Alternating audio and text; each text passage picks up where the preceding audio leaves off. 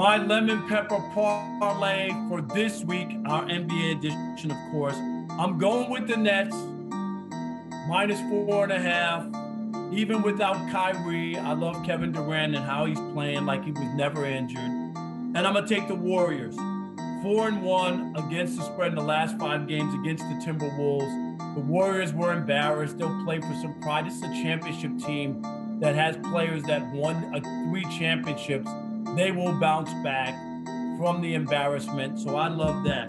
Nets minus four and a half, and I'm taking the Warriors as well. Book it.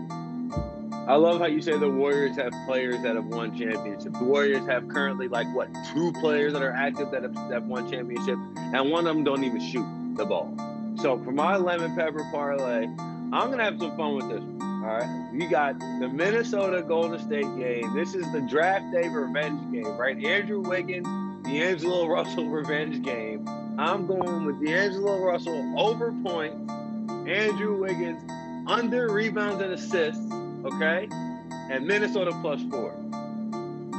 Two on that